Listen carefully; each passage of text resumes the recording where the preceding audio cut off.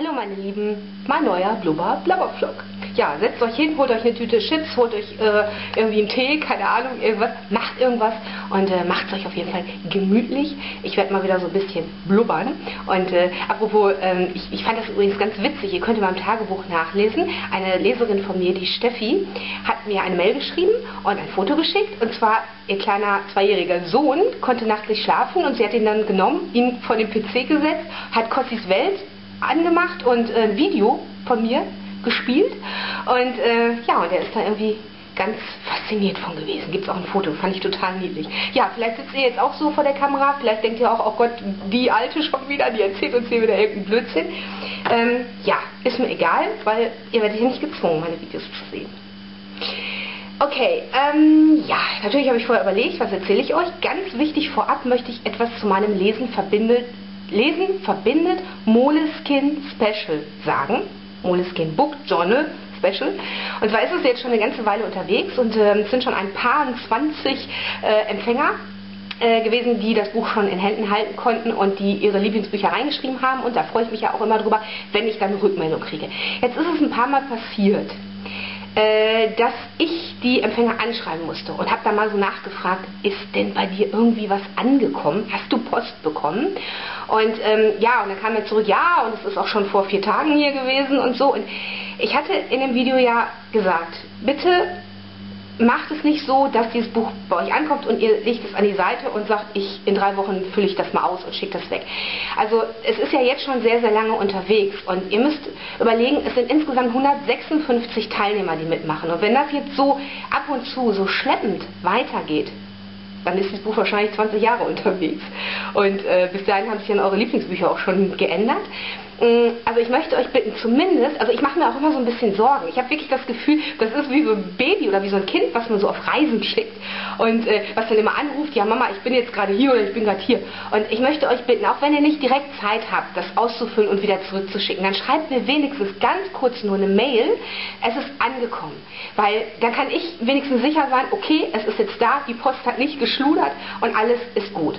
Und darum möchte ich euch einfach bitten, dass Sie mir wirklich, wenn ihr das bekommt, sofort am nächsten Tag vielleicht und äh, mal ganz kurz hat man ja Zeit, eine E-Mail zu schreiben und ja, dass ihr mir nur ganz kurz eben Bescheid gebt, dass das Buch bei euch angekommen ist und mir dann sagt, ich schicke es dann und dann weiter oder ich mache dann und dann die Fotos, damit ich einfach Bescheid weiß. Weil so dieses Warten drauf, immer so, hm, wann meldet derjenige sich und hoffentlich ist es nicht irgendwie unterwegs verloren gegangen oder so, das ist nicht so schön, habe ich gemerkt. Also ich ähm, weiß immer schon ganz gerne, wo dieses Buch ist, weil ja, irgendwie wächst einem diese ganze Geschichte ja auch ans Herz, muss ich sagen. Und eine Frage muss ich noch beantworten, weil die ist mir so oft gestellt worden, obwohl ich es in diese äh, Kriterien da reingeschrieben habe. Es gibt keinen Einsendeschluss. Also selbst wenn du jetzt gerade erst von diesem Lesen verbindet, Lesen, warum sage ich mal Lesen verbindet? Von diesem Lesen verbindet Special ähm, erfährst, kannst du auch immer noch mitmachen, weil ich packe alle E-Mails von euch in einen großen Unterordner und äh, jedes Mal, wenn mir dann der Empfänger sagt, das Buch ist jetzt bei mir, dann wähle ich mit meinem Scrollfinger aus und, und sage so, und der kriegt jetzt das nächste Buch. Das heißt, ihr könnt immer jederzeit mitmachen.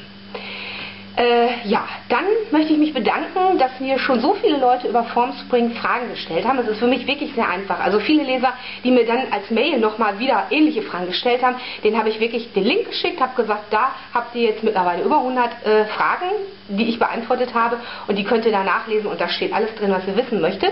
Und das ist für mich wirklich eine Wahnsinnserleichterung. Finde ich gut, macht weiter so. Ähm, dann ich wollte noch irgendwas sagen. Ich habe mir sogar einen Zettel gemacht, der liegt aber jetzt bei mir auf dem Schreibtisch. Und nicht hier. Okay, jetzt muss ich irgendwie ein bisschen aus dem Kopf raus. Ähm, was ja schwer ist, weil mein Kopf so voll ist. Ähm, ja, mein Kopf ist so voll, weil hier liegt immer noch mein Manuskript vom Männertaxi. Ich bin ja schon richtig gut dabei, das zu überarbeiten. Habe aber festgestellt, wenn ich arbeiten gehe, also in der Woche, oh, fehlt mir so ein bisschen doch der Kopf dafür, weil mein Job ist sehr, sehr stressig und ich brauche immer eine Zeit lang so irgendwie dann so, ähm, ja, um wieder runterzukommen und ähm, ich mache in der Woche nicht ganz so viel, aber dafür am Wochenende. Und dafür stehe ich auch schon mal wieder morgens um 6 oder 7 Uhr auf. Da bin ich ja wirklich sehr konsequent und ziehe das echt straight durch. Und äh, ja, es ist immer noch die Papierform, die ich überarbeite. Und ich denke mal, dass sie wahrscheinlich jetzt Ende der Woche abgeschlossen sein wird. Und dann hacke ich das Ganze nochmal in den Computer und dann geht es zurück zu meinem Lektor. Ja, und dann bin ich mal gespannt, wie es weitergeht. Ähm, ich lese natürlich im Moment auch wieder ein Buch. Ich habe gerade eben dieses Buch Numbers von Rachel Ward zu Ende gelesen, habe ich auch eine Videorezension schon gedreht. Ich weiß jetzt selber allerdings noch nicht, ob ich jetzt erst den Blubber Blabber Vlog online stelle oder dann ein paar Tage später das Video. Ich muss mal gucken. Bin da so spontan, was mir gerade so gleich irgendwie in den Kopf kommt. Ja, im Moment lese ich Lügst du noch oder liebst du schon? Ist von äh, Rebecca Fischer. Es ist kein Geheimnis, wenn ich sage, dass Rebecca Fischer ein Pseudonym ist. Und die äh, eigentliche Autorin heißt Gabriela Engelmann, von der habe ich ja mittlerweile auch zwei Bücher gelesen. Eins suppt bei mir noch. Und äh, diese Gabriela Engelmann-Bücher, die sind ja mehr so, ach, ne, so schön und Inselfeeling und ist alles irgendwie so schön halt. Und dieses Buch ist lustig. Also es ist mehr so diese, ja, wie nennt man das? Komödie. Bei mir steht äh, Männertaxi eine turbulente Komödie. Das ist mir eine Komödie. Und das finde ich, ja, ist halt so ein Frauenschmöker. Single-Frau, Single-Mann und äh, lernen sich kennen bei einem Speed-Dating. Ja, und lügen sich gegenseitig die Hucke voll. Und ihr könnt euch vorstellen, dass da natürlich ganz viele Dinge passieren. Ich bin aber jetzt noch nicht ganz so weit. Ich habe jetzt so fast die Hälfte gelesen.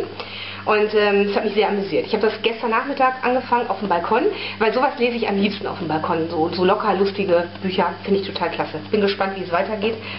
Äh, ja, dann werde ich in nächster Zeit natürlich endlich auch mein Arthur weiterlesen. Da habe ich mich ja die ganze Zeit so drauf gefreut und irgendwie kam immer so viel dazwischen und äh, bin irgendwie noch nicht dazu gekommen. Ähm, worauf ich mich auch sehr freue, ist dieses Buch, Eine geheime Liebe von Paola Calvetti ziemlich dünnes Buch. Ich habe ja vor einiger Zeit von der Dame gelesen ähm, und immer wieder Liebe. Müsst ihr mal gucken, gibt es auch ein Video äh, äh, zu. Und da habe ich ja auch gesagt, dass dieses und immer wieder Liebe echt mittlerweile eins meiner Lieblingsbücher ist, weil es so schön ist. Und dann hatte ich gesehen, dass diese Paola Calvetti eben ein neues Buch rausgebracht hat und das möchte ich gerne auch lesen. Aber das ist, wie gesagt, so dünn, das lese ich, glaube ich, so an einem Nachmittag auf dem Balkon. Freue ich mich auch drauf. Ja, und ansonsten... Ähm, habt ihr mir ja ziemlich viele äh, Briefe auch geschickt, so bezüglich der Lesezeichen. Und ich habe die ja auch alle, ja nicht beantwortet, aber ich habe ja die Lesezeichen da so reingepackt. Ich habe übrigens auch äh, ab und zu, nee, ich habe eigentlich jedes Mal diese Bücherplausch-Lesezeichen auch dazu getan. Und jetzt habe ich nur noch eins. Die gibt es also nicht mehr. Ich habe mit Stefan gesprochen, wir werden neue machen. Die werden wahrscheinlich auch anders aussehen als das. Also wer noch so eins bekommen hat, kann sich glücklich schätzen, weil die wird es wahrscheinlich nie wieder in dieser Art geben. Ja, und ähm, ja, ich glaube, das war irgendwie schon alles. Das Wetter ist schön, soll aber nicht so bleiben, habe ich gehört. Ähm, ist aber nicht schlimm. Wenn ich arbeiten gehe, kann es auch ruhig regnen und stürmen und schneien. Nur am Wochenende, da kann es schön sein. Weil da finde ich das ja doch schon äh, sehr schön, gerade wenn man so auf dem Balkon sitzen kann oder im Schrebergarten bei einer Freundin im Garten da so.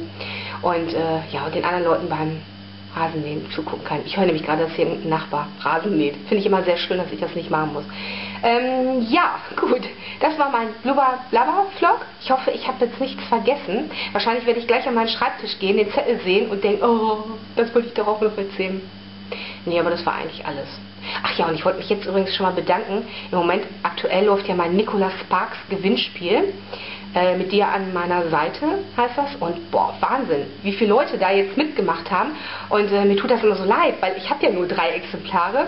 Und ja, es tut mir immer so leid, dass ich möchte ja immer am liebsten allen Teilnehmern ein Buch schicken, aber das geht ja nun mal nicht. Und wie gesagt, es tut mir jetzt schon leid, dass eben nur drei Leute gewinnen können. Äh, aber wie dem auch sei, egal. Ich freue mich auf jeden Fall auf den Film. DVD habe ich schon vorbestellt. Ich habe ja gesagt, ich gehe nicht ins Kino, weil ich möchte nicht so verheult aussehen, wenn auf einmal das Licht angeht.